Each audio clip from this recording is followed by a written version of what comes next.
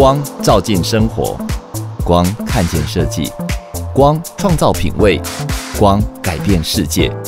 我是 Uno 赖雨农，Uno Life 光听你说，让我陪你说设计谈生活，一起听光的故事，在光里我们遇见未来。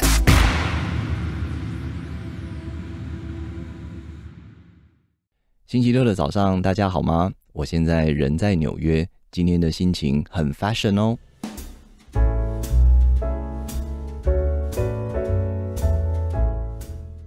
用光带你听设计，聊生活，走向世界。欢迎收听 Uno Life，光听你说，我是主持人 Uno 赖雨农。您收听的是 Pop Radio 联播网北部 FM 九一点七，台北流行广播电台桃竹苗 FM 九零点七，好听广播电台。Hello，大家好，我又在纽约了。纽约有很多不同的面相，大家知道了哈。那我今天其实要特别拉出来的这个纽约的面相呢，是一个比较呃潮流的哈，就是比较时尚高端的哈。呃，如果有在纽约生活过的人，可能会知道，其实纽约有一个很受欢迎的一个活动，叫做 Restaurant Week，就是呃，这个叫什么餐厅周。那所有的这些餐厅哈，大大小小的餐厅，呃，大到这种米其林餐厅，小到就是可能你家路口的那个餐厅，他们都有可能会加入这个活动。那那个活动就是，比如说他会专门推出一个菜单，或者是可能推出本来是一个七百块一个晚上的一个套餐，那那天晚上可能只要两百块，你就可以吃到这个套餐哈。那呃，我知道的很多我纽约的朋友，其实每一个人都非常非常的着迷于在 Restaurant Week，就是你可以去吃遍整个纽约最好的、最有名、最潮流，或是你平常完全订不到的餐厅呢，就是在那周的时候会打开。好，那其实，在纽约这个地方呢，就是除了美食之外，还有一个就是艺术。艺术这件事情呢，其实，在纽约也是一个非常非常多元的发展。而且呢，在纽约看这个展览啊，其实最让人家觉得很兴奋的一点，就是它其实并不是呃单纯，比如说把这个艺术品啊画就是挂一挂，通常都会有一个主题。比如说这个主题呢，它就是莫内。的一个，比如说他的这个青少年时期，然后他就会有一个这个青少年时期特别的一个展览，比如反骨的这个晚年，或者是反骨的呃向日葵，那他可能就哎全部用这个主题去发展，然后变成是，尤其像现在的话哈，如果现在大家来纽约，可能就会有一些再小一点的艺廊，它会有一些电子的哈，就是比如说有一些比较数位型的这种展览啊，展览的方式会出现。好，所以呢，呃，我觉得在纽约的生活真的是还蛮多彩多姿的哈，就是有吃有看有玩。那么，当艺术遇到餐饮，会蹦出什么样的火花？嗯，这个很耐人寻味哦。而且，这个呢，就是我们今天要跟大家啊介绍的这个特别来宾，就是当艺术上了餐桌会是什么呢？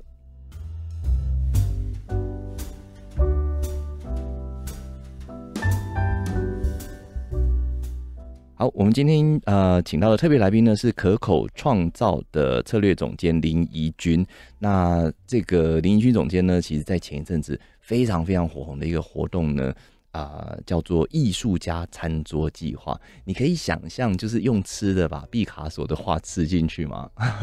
好，我当然是开玩笑的啦。我们并不是真的吃毕卡索的画，但是呢，可口创造哈用毕卡索做一个主题，然后呢创造了一顿晚餐。那你可以在这个晚餐的过程之中，了解毕卡索的风格，了解毕卡索的生平，甚至把毕卡索的那个画啊原画重现成一个餐厅，然后你坐在毕卡索的呃仿真的那个场景里面，吃着当时他们吃的东西，是不是听起来非常的酷？好，所以我觉得这个就是一个很特别啊，很潮流的经验，而且这样子的一个方式哈，我觉得就算在。啊，纽约在台北在东京，它都会非常非常的成功。那所以呢，在台湾的啊听众朋友其实很有福，在台湾就可以吃到这样的一个呃艺术家餐桌计划。而且呢，跟大家报告就是说，这个艺术家餐桌计划呢，呃，之前非常非常成功的啊，有了毕卡索。那后来他们其实陆陆续续还有在推出其他的，而且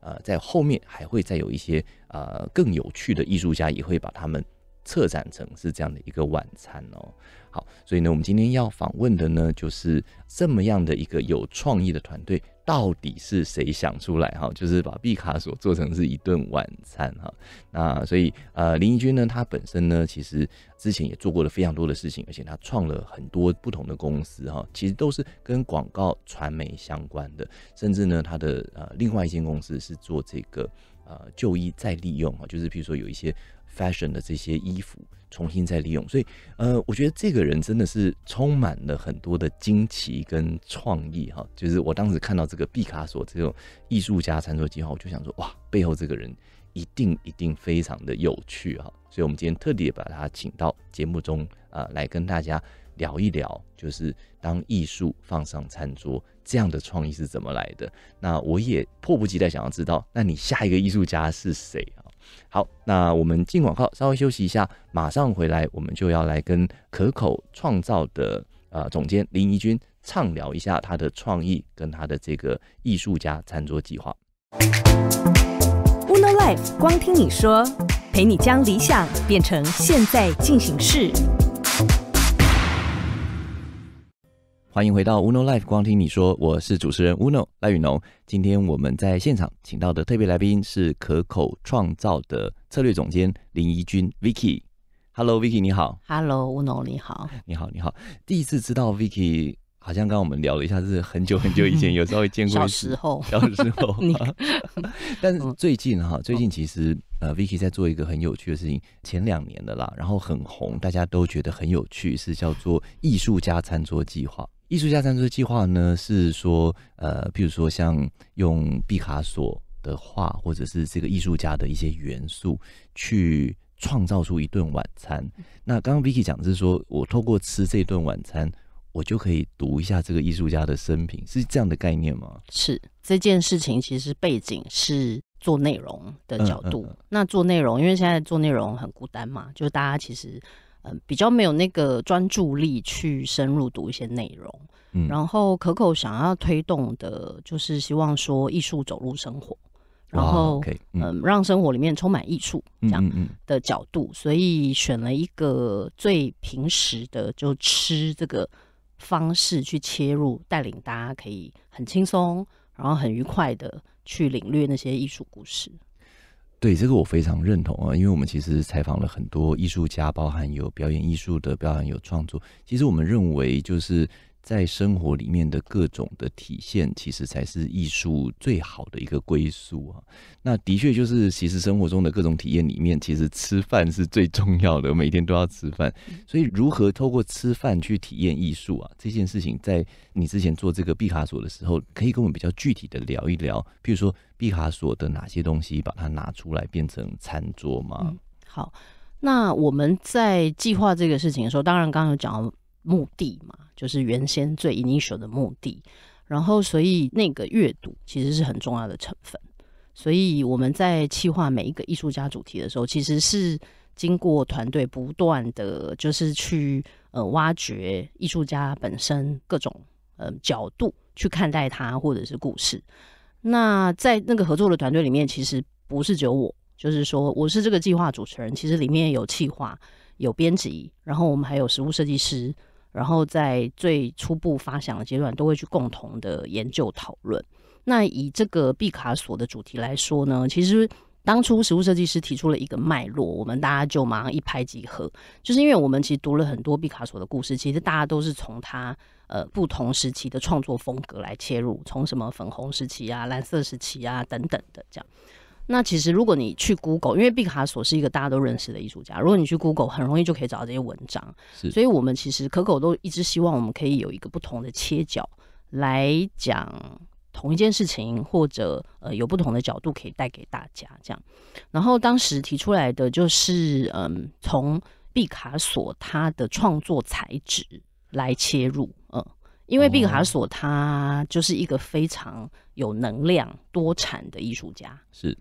对，所以当时是用创作材质来切入。懂，所谓创作，我记得好像他就是的确他在创作上面比较大胆的用过不同的颜料跟材质，是类似像这样子的方向。因为他其实大家可能比较熟知的就是那个时期，当然很多比较呃有分量的艺术家，其实都是油画。然后油画它就有很多风格，所以我们在设计这个餐宴的体验的时候呢，每一道菜其实是对应他一个他的创作材质，有很具代表性的，例如说立体主义，或者是他也捏陶。然后，所以我们其实也有跟当代陶艺家合作，去呈现他的陶作。然后另外呢，其实还有一道菜是从他的食谱书里面找出来的。哦，对，其实他是个对吃非常挑剔、非常讲究的人。我相信。对，所以其实也有菜是从他的食谱书里面呃发想，然后再由现代的厨师再去重新呈现。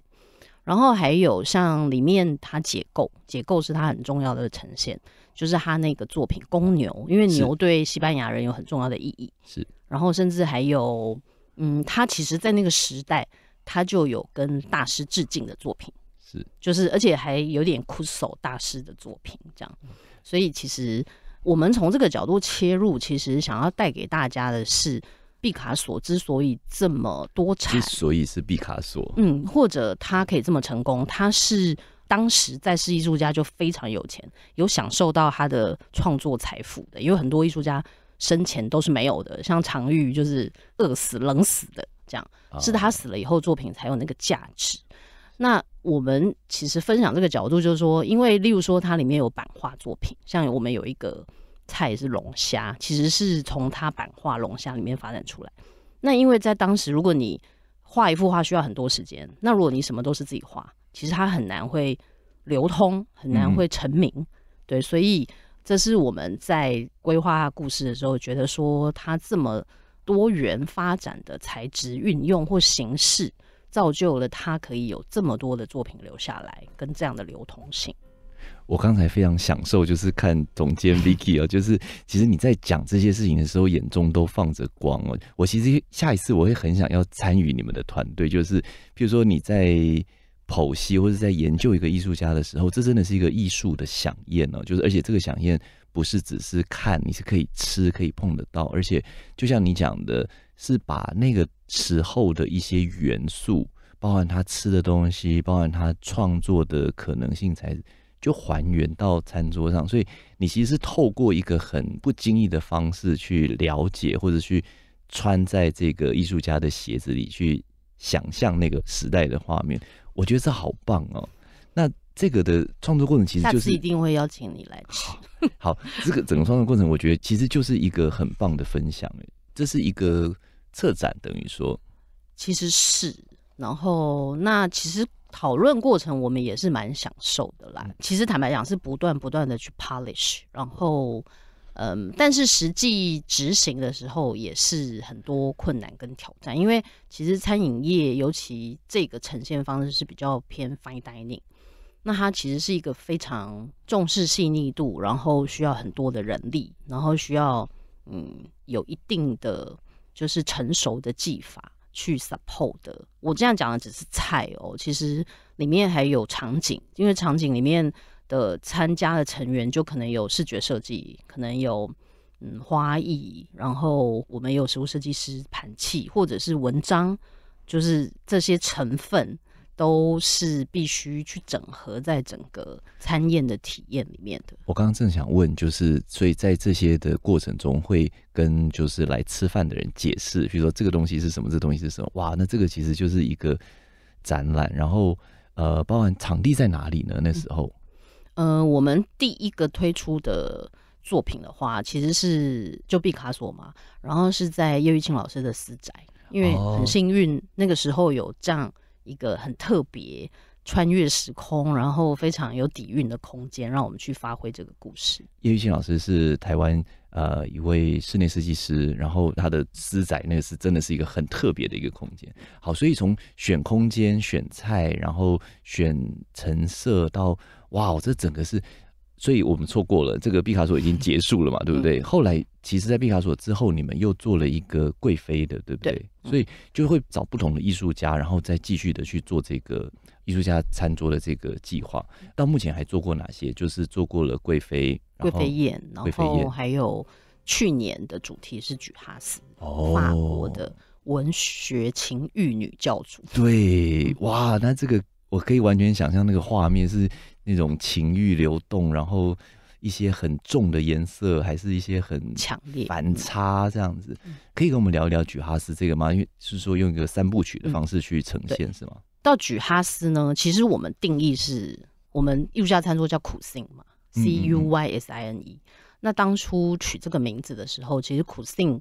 嗯、其实是古法文的菜肴，它的拼法其实是古法文哦，你是用了法文的古因为我们一开始切入这个题材的时候，是从法国左岸的艺术家开始去发想的，是对，所以那时候才选了一个这个词来当成这个 project name 这样。然后贵妃宴是一点五号作品，因为贵妃宴是我们在那个阿拉美颂，就是叶老师的私宅里面遇到的一个伙伴，就是 One Three Hill，他在那边驻点做茶餐会。然后，因为他们最有名的下午茶就是贵妃下午茶，哦，对，然后只是说他做的是从食物的角度切入，其实，在到我们手上的时候，其实我们想要研究的是从杨贵妃去看唐朝的艺术，或是诗词，还有书法这个当时的背景，然后以及那个社会很重要的文化背景。其实某一个角度是，嗯，唐朝是女性，就是中国历代以来女性地位最高的，甚至还当了皇帝。是对啊，那个其实是中国历史上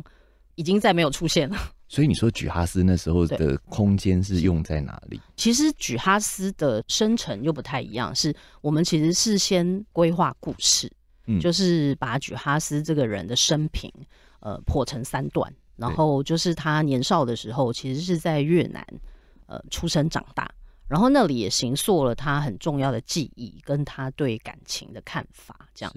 然后接下来他就回到了法国，就是在经历二战的时候，他就回到法国。那个其实是一个战火喧嚣的时期，所以他经历了呃结婚生子，然后、呃、很多的作品产生。她还为了救她的老公去当了纳粹的情妇。哦，对，然后到晚年的时候呢，其实我们叫悬而未决的激情，就是他身体已经老了，可是他其实还是呃充满了热情跟渴望，就是在他老年的时候。哇，听起来真的好丰富、好精彩。我们现在在现场访问的是可口创造的策略总监林怡君 Vicky 啊、他在跟我们分享，就是有一个这个艺术家餐桌计划，在呃前两年的时候非常的火，然后呃他们做了这几个，包含做到菊哈子。那接下来还有没有新的这个艺术家餐桌计划，我们还可以参与哈？我们进广告休息一下，马上回来。Uno Life 光听你说，陪你将理想变成现在进行式。欢迎回到 Uno Life，光听你说，我是主持人 Uno 赖宇农。今天呢，在我们现场的是可口创造的策略总监林怡君 Vicky。Hello Vicky，你好。Uno 你好，今天我们刚前面聊了很多哈，关于这一个呃可口创造的这一个艺术家餐桌计划，其实每一个我都好想去吃哦。是有对外营业的吗？是我们每一次推出艺术家餐桌的时候，会 host 的两群客人，呃，就一群其实是比较 foodie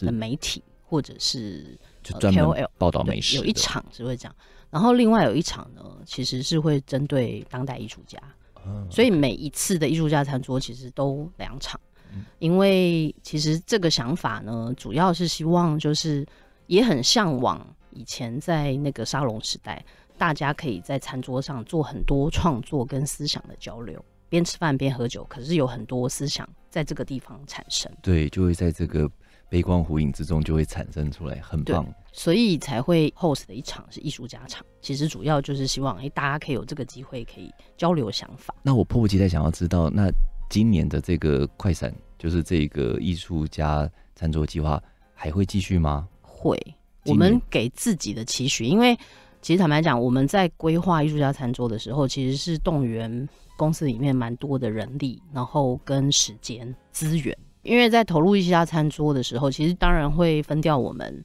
去做一些嗯商业经营的案子。但是我们给自己的任务是，现在一年一定要做一个主题出来，去延续这件事情。那可以跟我们偷偷透露，如果是今年做的话，可能会是哪个艺术家吗？嗯我们其实今年早就选好了是 Frida，就是大家一致认可，哦就是墨西哥非常有故事，然后非常强烈的艺术家。对，他的画作都很强烈，然后都是自画像为主，就是你刚刚提到那个头上会画自己有一些花，对吗？你说他的整个生平是很崎岖坎坷的，是吗？对，因为他的故事很精彩，他的创作也传达了他个人的故事。通常就是在生活里面遭遇很多的，不管是不顺利也好，或是坎坷也好，他的生活的体验可能比别人更深刻，他创作出来的艺术作品就可能会更感人。那这个的菜，哇，我会很期待耶！这个的菜会是什么样？这个我现在也不知道，哇，因为我们还在，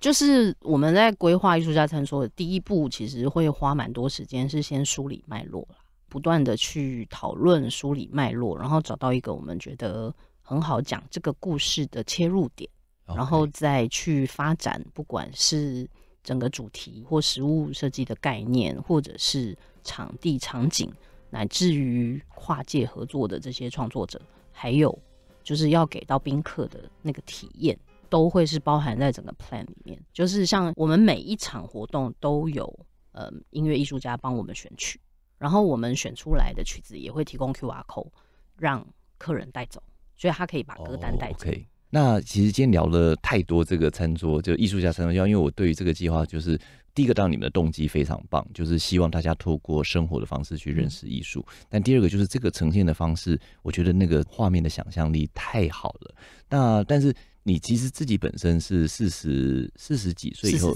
四十三岁之后才开始创业啊。然后你觉得这种创业的时间点跟年纪有有什么直接的相关吗？这个时代因为蛮创业潮的嘛，或者与其说创业潮，不如说很多都是想要个人工作，因为他不想要在机构里这样。那你也可以称之为创作，其实就是很个人工作者，比较像个体户这样。其实我我按照这个时代的潮流来讲，我真的是高龄创业，可是我自己是觉得没有不好。是四十三岁创业的时候，其实当然。在某一个领域的累积，或者是人脉，或者是经验，各方面就有一个基础，所以在开始创业的时候，其实也比较，我觉得很很容易去建立这个发展的基础，去一步一步的往自己想象要做到的程度去做。那为什么四十三岁创业？其实没有为什么，只是说因为。嗯，可能一直有一个想要自己创业的想法，可是就是没有发生，没有实现。那有时候可能被很多事情耽误嘛。但你说哪个年纪是最适合创业年纪？在你决定的时候，就是最适合创业的年纪。哇，这句我要把它金句 quote 下来。但是你讲的时候，我其实我非常的有共鸣哦，是因为我其实常常讲，以前的话，当然。呃，男生女生有差别，但现在其实没有差别哈。然后第二个就是所谓现在的很多人讲，就是现在的三十岁就是 new twenty 嘛，所以四十岁就是 new thirty。那我常常跟我的员工讲，我说其实你在三十岁到四十岁之间，你其实在累积一个专业，但是到四十岁的时候，你一定会有一个动力，就是你要不然就创业，要不然你就是在体制内变成是一个比较高的主管或者是合伙人啊。那我觉得从四十岁开始才是真正专业的爆发，因为在前面就是像刚刚 Vicky 讲，你都在累积嘛，你有很多的人脉、很多的资源，所以我觉得四十岁是一个创业最黄金或是最棒的年纪，是因为就像我们看到你的这个餐桌计划，就是如果你在三十岁创业，你可能不一定有办法做出这么精彩的作品，可是恰恰因为是呃你已经在一个很有资源的状况下，所以我觉得这个作品就会让人家觉得很有共鸣。那公司还有做哪一些其他的事情啊？本业是 brand agency，哦，所以就是整合行销公司。哦，that makes sense。嗯，原来。然后整合行销公司，我们其实大部分是做国际品牌的公关、跟 VIP 活动，还有社群经营。了解。那其实这个基础很重要，因为我常跟大家分享说，如果没有过去二十年，就是这些品牌。他们提供的预算给到我们去做 marketing 的 practice，你今天就很多计划是不是 workable，你就不知道。对，所以其实因为那个是实践嘛，就是说想法可能每个人都可以有，可是问题是你有没有实物操作的经验，或者你有没有那个机会可以真的呃动手去做。那我其实我觉得那个是品牌提供给我们呃累积出来才有那么一点 know how。而且我不知道我这样讲对不对哈，其实这些国际的大品牌还有两个事情，一个就是通常国际大品牌他们有很多的条条框框，就是你要满足他们的要求是很难的。第二个就是他们邀请来的 VIP，那也不是什么等闲之辈嘛，所以你等于是用这两个的练习，就是包含譬如说怎么把这个产品做到最好，跟你要满足这种各式各样就是可能要求很高的客人啊。所以可能这个呃艺术家餐桌，或者是你现在做的其他的这些作品，如果说是可以开放给群众的话，其实我想一般人应该是可以很直接的就感受到这个品质跟高度。对，就被你看透了。就是说，其实事实上是我们一直在帮品牌 VIP 去操作一些活动的时候，嗯，累积的不管是深度或是细腻度，其实这一点是比较难从表面上看到的。所以，其实艺术家餐桌是 open to public，因为通常 VIP 活动其实是只服务到很少数的人呐，所以我们其实是呃用了这样的形式，但是想要提供的其实是那个艺术故事的这个背后的本质。那我快速问一下，因为我知道你其实同步还有另外一间公司是做这个永续时尚废弃布料材质，可是废弃布料。基本上我们用的是生产前废弃布料，它根本没有变成产品。哦，等于是在生产的那个时候，本来要被浪费掉的布料，直接拿回来再做成。是，但是它是没有被用过的。懂懂懂，所以它并不是二手的，了解了解。但是这个也很重要，因为它其实就是永续的一环嘛。因为你就在生产的过程中把这个浪费减少掉。好，但我的意思是说，这个也是跟我们的生活跟体验艺术也是有相关呢。为什么？就是刚好你在创这几个公司，你好像对于这个美啊，或是艺术啊，或是把艺术带进生活，特别的着迷，是有什么特别的契机吗？嗯，其实是我觉得应该是自己心里有向往艺术了。我是跟别人说，我做可口，其实是我是高年级实习生，是艺术的高年级实习生。那每一个人接近艺术有他的方式，我修我的艺术学分的方式，其实就是想要把可口做好。然后，呃，因为可口推出的时候，其实它是一个线上内容。那你为了做这个内容，或者我为了让这个平台可以活下来，我就必须投入嘛。对，所以。因为为了让这个平台可以活下来，所以才发展艺术家餐桌。嗯，那其实是有一种困兽之斗，也没有到那么惨。但是因为中间其实是就在思考到底怎么样可以 survive。因为现在其实媒体的生态很不同。我觉得创业家都有一个共同的特性，就是破釜沉舟啦。就如果说今天我要做，我就是必须把它做好，就没有回头路。比如说我只有全部投入。跟不要做这两个 选择而已，所以也会想要问问看你，就是因为毕竟我现在听了觉得很安慰啦，就是说我至少知道这个艺术家餐桌计划应该是有机会一直延续下去，因为你有其他赚钱的的 的方式，这样对，因为它其实后面的 business model 还是我们嗯做克制的品牌内容，对，其实所有的。商品的核心对我们来讲都是克制品牌内容，一的不管是线上或者是实体，或者是设计成体验，或者是 visual，其实我们真正的业务范畴是这样好，所以我们今天在现场呃采访的特别来宾呢是可口创造的策略总监李怡君 Vicky。那他其实之前有一个非常棒的这个计划，就是叫做艺术家餐桌计划，带着群众，因为透过吃饭体验场景。进入到那个艺术家的生活，跟了解他的课题，而且刚刚有跟我们偷偷的透露，今年的呃艺术家入选就是是 Frida，这个 Frida 应该也很值得大家去探索，所以知道就是呃 Vicky 他其实有很多其他的这个呃相关的产业，我相信这个今年还是会继续做，然后有兴趣的听众朋友就有福了，就是你们要抓紧要跟紧啊，就是说，因为他每次出来都是只有一两个月是吗？对，提前去抢，辛苦。没有没有，就是因为在规划或执行的时候，坦白讲是还蛮辛苦的，所以其实我们并不是要开餐厅，就是说其实也是通过这个计划去传递我们想要实践的这个价值。好吧，说到实践的价值，那就呃我们进广告稍微休息一下，马上再回来呢，想要再跟呃 Vicky 聊一聊，就是还有没有什么呃你觉得你想要再去实现的生活的这个价值啊？这个应该是有很多是有趣的事情，你想得到的我还没有想到。那我们进广告休息一下，马上回来。Uno Life 光听你说，陪你将理想变成现在进行式。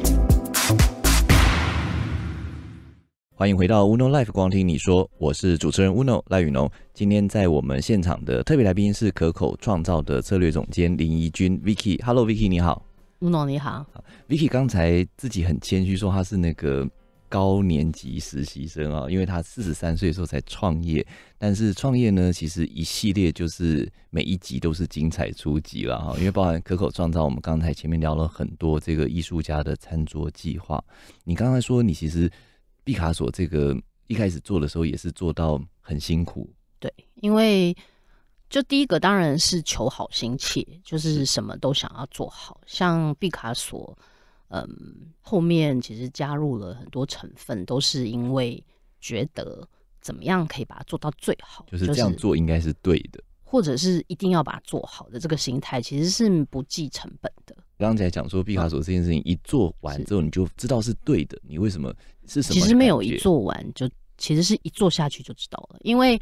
其实我几乎每一场都会去，我会跟呃除了我 host 的媒体跟艺术家之外，其实我会收到很多的 feedback，因为我们也毕竟办很多活动，所以从客人的反应回想，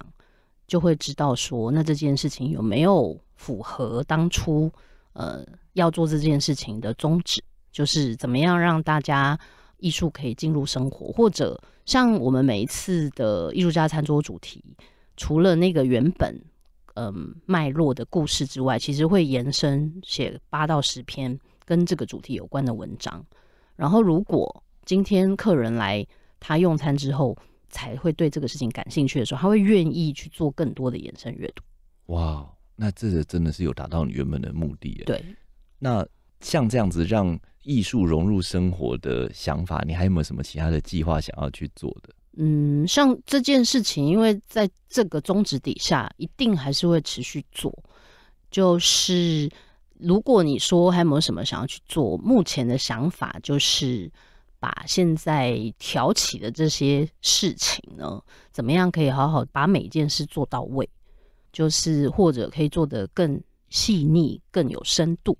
哇哦，OK，所以我觉得这种四十几岁创业家哈，真的是不会放过自己，然 后就是要把自己逼到死。我不会，其实我是真的还蛮享受做这些事的所有过程诶、但我有在一个另外一篇专访有看过你讲过，就是说嗯梦想就是要去做才有意义，就是想没有用，所以你其实是这方面最大的实践者嘛。就我我确实是比较行动派，但是因为就是行动派有时候也是会头破血流，是是正常的，但是它会好。然后像刚就是雨农有提到，就是说，哎、好像三间公司听起来厉害，可是其实我那时候三间公司同时发生的时候，其实我有一小段时间觉得要做这么多事已经不是享受，就是变成压力了。其实我是不会喜欢把做事情变成是一种压力，我会想要做好，可是我更想要好好享受做这些事的过程，这样。